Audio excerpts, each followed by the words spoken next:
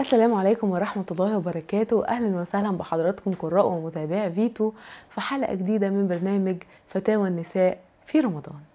الشهر اللي بركاته مالية بيوتنا وفرحته رسمت البسمة على وجوه كل أسرة. النهاردة هنتكلم عن مسألة بتهم كل سيدة مسلمة حابة إنها تصلي صلاة التراويح في رمضان وحابة تعرف هل الأفضل ليها إنها تصليها في المسجد؟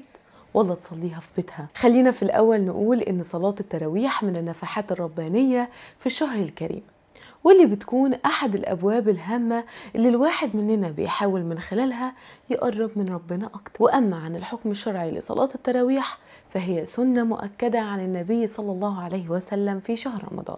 والعلماء أكدوا إنها بتأخذ ثواب قيام الليل في الشهر الكريم. ومن العادات المصرية الجميلة دايما إن صلاة التراويح بيكون ليها أجواء خاصة في رمضان في المساجد اللي بتكون متاح فيها الصلاة واللي بتتم السنة دي وفق الضوابط اللي أعلنت عنها وزارة الأوقاف في وقت سابق. الدكتورة نورة عبد الفضيل عضو مركز الأزهر العالمي للفتوى الإلكترونية أكدت في تصريحات خاصة لينا فيتو إن صلاة التراويح سنة عن النبي صلى الله عليه وسلم وليها فضلها عند المولى عز وجل. وأكدت أن صلاة المرأة في بيتها أفضل لها من الصلاة في المسجد. واستدلت بحديث رسول الله صلى الله عليه وسلم لا تمنعوا نساءكم المساجد وبيوتهن خير لهن. وأكدت في الوقت نفسه أن معنى الخيرية هنا لا يعني منع المرأة الذهاب للصلاة في المسجد لو أذن لها.